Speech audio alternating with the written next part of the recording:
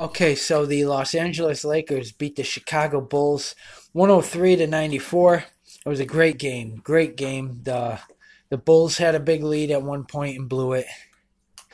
Uh, I didn't know the Bulls were so bad though. They're like 3 and 12 and the Lakers are like 8 and 10, I do believe, or 5 or 6 and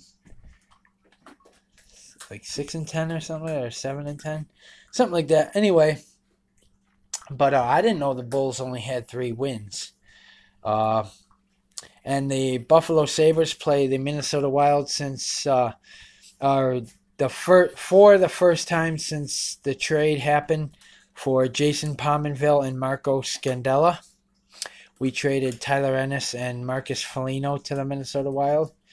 Uh, so I'm looking forward to that. Anyways, comment in the comment section below. And as always, if you like my videos, like and subscribe. Go Sabres, beat the Wild. Go Lakers, beat the Sacramento Kings.